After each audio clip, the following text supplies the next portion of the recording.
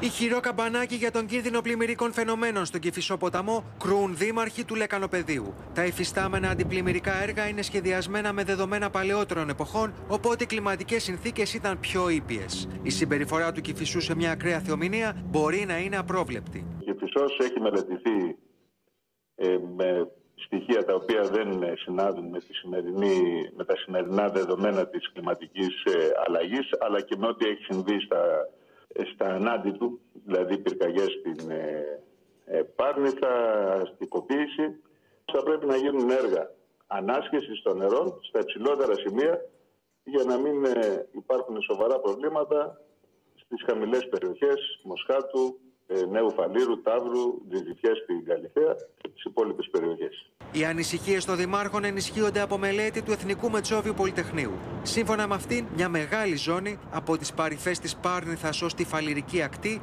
η οποία είναι χτισμένη σε ποσοστό 75% και κατοικεί και εργάζεται περίπου το 1 τέταρτο του πληθυσμού της πρωτεύουσας, βρίσκεται σε κίνδυνο πλημμύρας εάν μια μεγάλη κακοκαιρία χτυπήσει την Αθήνα και τον Πειραιά.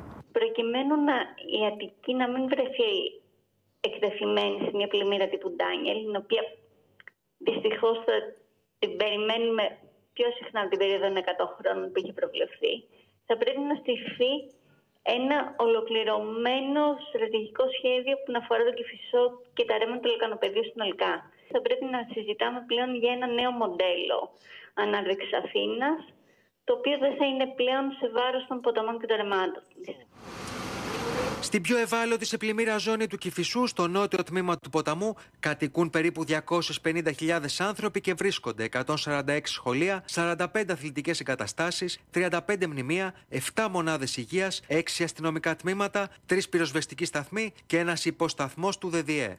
Ο κίνδυνος πλημμυρικών φαινομένων στην Αττική είχε επισημανθεί εξ αρχής από τον Περιφερειάρχη, ο οποίος είχε ζητήσει από την κυβέρνηση εξαγγελίες για αντιπλημμυρική θωράκιση να μετατραπούν σε δεσμεύσεις με συγκεκριμένους οικονομικούς πόρους. Αν η ερώτηση είναι ε, αν η Αττική είναι θωρακισμένη, η απάντησή μου είναι όχι, δεν είναι θωρακισμένη.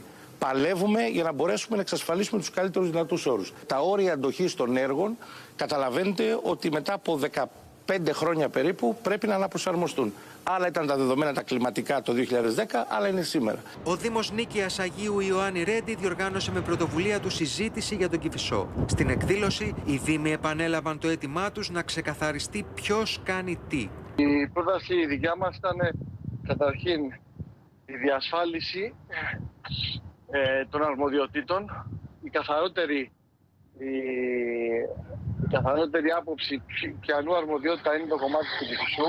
Σύμφωνα με στοιχεία της ομάδας Μέτεο του Εθνικού Αστεροσκοπείου Αθηνών, στην Ελλάδα οι θάνατοι από πλημμύρες αυξάνονται με την πάροδο του χρόνου. Σε 70 θανατηφόρα πλημμυρικά φαινόμενα από το 1980 έως σήμερα έχουν χάσει 190 άνθρωποι τη ζωή τους. Οι μισοί σκοτώθηκαν την τελευταία δεκαετία. Τα ακραία καιρικά φαινόμενα στην εποχή της κλιματικής κρίσης απαιτούν άμεσα μέτρα για τη θωράκιση πόλεων και πολιτών.